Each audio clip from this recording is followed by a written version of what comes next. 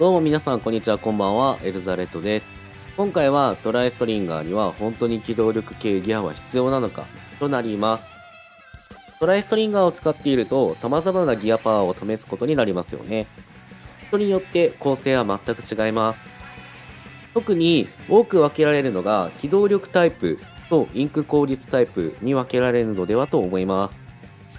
僕はどちらかというとインク効率タイプになったばかりなのでまあ、改めて機動力の必要性について考えてみたいと思います。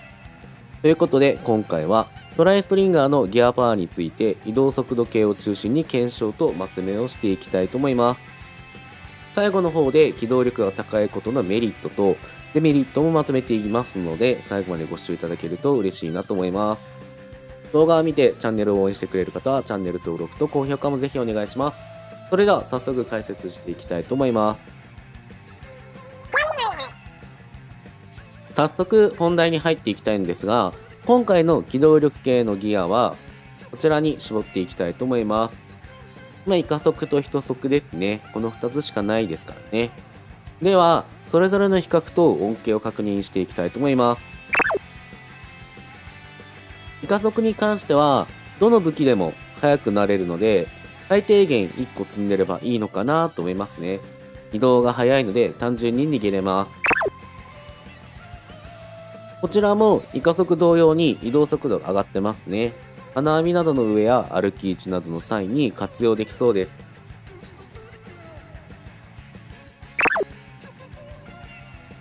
チャージしながらの場合、移動速度は、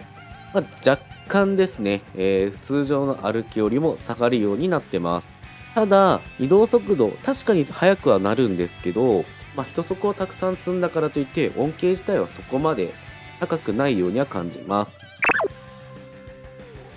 初速とチャージと連射歩きの比較に関しては、まあ、そこまで差がないというよりかは、まあ、チャージの方が圧倒的遅いんですけどね、まあ、連射打ちすることによって一足の恩恵を受けれると思います。まあ、実はですね、チャージ中の移動速度に関しては最大25%ほどとなっています。まあ、そこまで大きな恩恵かと言われると、まあ、微妙なところなんですが、まあ、3個積んだ割にはというような感覚になりますね。まあ、全然積んでも積まなくてもっていうところになるんですが、まあ、そこは考えようかなというとこです。まあ、歩きながら爆発を置くなら有効ですね。より広範囲に攻めながら動けるという感じです。まあ、全ての敵が対処できるわけではないので、なかなからしい結果かなとも個人的には思ってます。で、こちらの移動速関連なんですが、恩恵としては、チャージ中に移動速度がちょっとだけ速くなるというものです。そのため、1個積むだけでは差は開きません。まあ、大きな差というとこですね。なので、大量に積んで相手の攻撃を避けれるという感じでもないので、チャージ以外の時に恩恵を受けるというような感じになります。効果比較を実際にすると攻撃中は差がそこまでないものの攻撃していない時に対しては恩恵を受けるという感じですねここちょっと難しいところかなと思いますでそう考えるとギアを組み込むメリットとかも考え直す必要が出てくると思います。だいたい枠としてメイン12個とかえー、サブギアパワーだったら6個とか使う人もいるのかな。かなりの量使えますからね。ちょっと考えるのもいいと思います。それでは効果の比較もできたことですので機動力のギアパワーをつけることのメリットをまとめていきたいと思います、まあ、まとめてみると1移動が速くなる、まあ、攻撃以外ですね2対面時に狙いにくくなる3逃げるときに早く逃げれる4、ガチホコを早く運べる。以上の4つですね。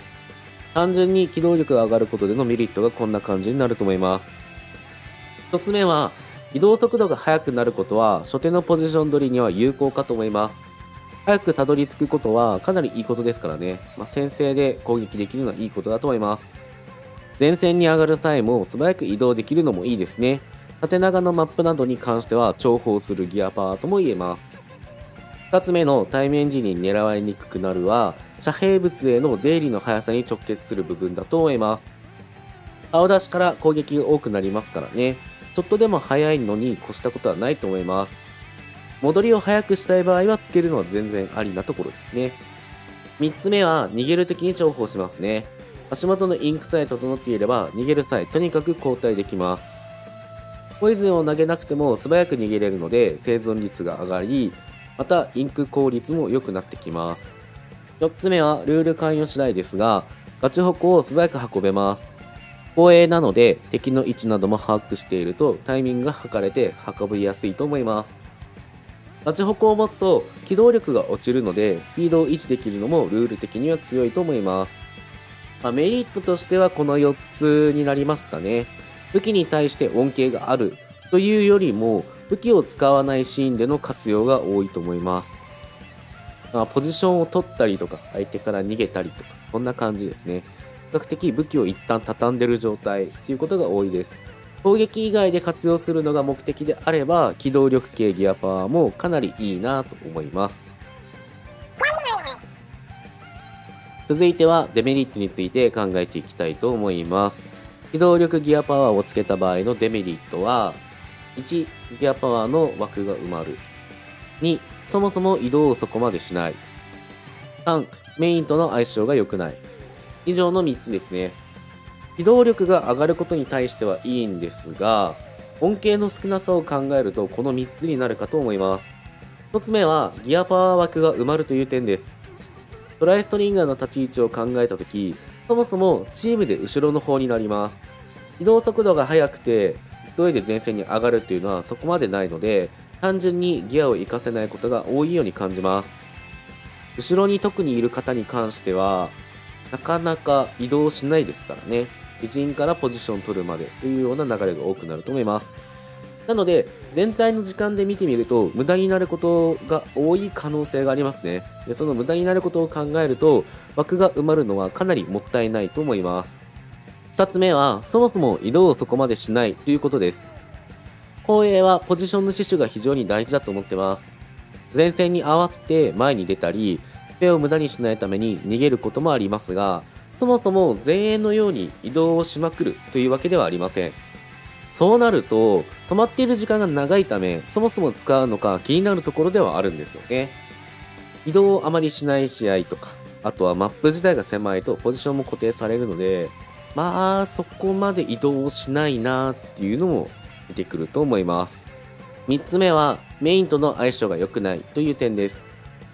機動力系のギアパワーは接近戦が得意な武器こそ力を発揮ができると個人的には思っているからです。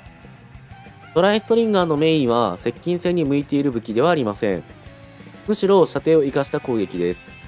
そのため、近づいて攻撃するということはしないので、速さで翻弄するということがないですよね。背面では使いづらいというところがあると思います。もちろん下がって距離を取って打つということに対しては有効ですが、そのシーンがどれだけあるかということが重要かと思います。この3つのことを考えると、メインの特徴を伸ばすという使い方をするわけではないのがわかると思います。弱点を補う上でつけるのはありかなと思いますが、デメリットの方が大きすぎるような気はしています。まあこれも原因で、ちょっとイカ速からピンク系に移ったっていうのもありますね。それではなぜ機動力系のギアパワーをつけなくなったのかという点ですが、個人的には特徴を伸ばすことを意識したというのが一番大きいですね。弓の特徴は手数で敵と足場を圧倒することと、サブスペによる相手の邪魔をすることだと思います。一角も狙えるようになれば、キルの貢献もできます。ですが、最初のうちは手数が大事なので、チャンスを増やす必要があると考えています。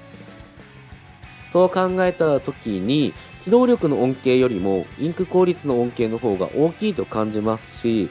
攻撃と戦略の幅が広がったように感じます。機動力系が弱いというよりかは、活かしきれないなっていうのが正直な感想ですね。まあ、僕はなかなか活かしきれなかったなと正直思います。僕は正直、もしご意見あれば全然教えてもらいたいなと、こういう使い方できますよとか、教えてもらえると嬉しいですね。なのでコメントいただけると嬉しいです。